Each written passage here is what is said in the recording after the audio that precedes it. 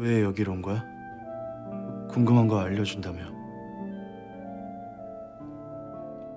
이게 나다. 김특팔. 1977년생이면 맞아 나 죽었다.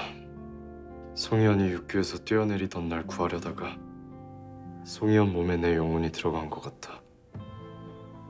빙의. 뭐 그런 거겠지.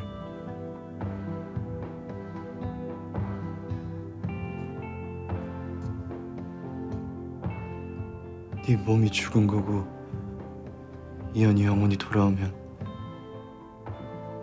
넌 갈 곳이 없지. 그러니까 죽겠지. 그래서 말 못한 거다. 송이현이 돌아오면 친구가 돌아왔단 즐거움이 슬픔을 대체할 수 있을 거라고 생각했다. 같은 모습이니까. 지금은 왜 말해주는 건데? 재윤이한테 그런 말 듣고도 네가 가만히 있겠냐? 어떻게든 진짜 송이현이 돌아온 걸 확인했겠지. 지금처럼. 지금처럼? 돌아왔다 송이현.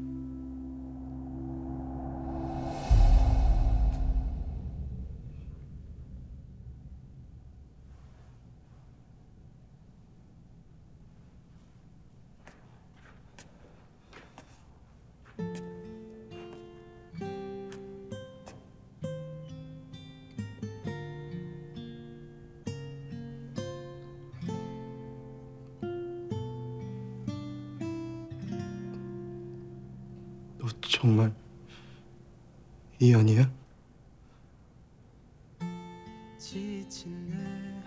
최세경 눈에도 영원히 보이는 건가?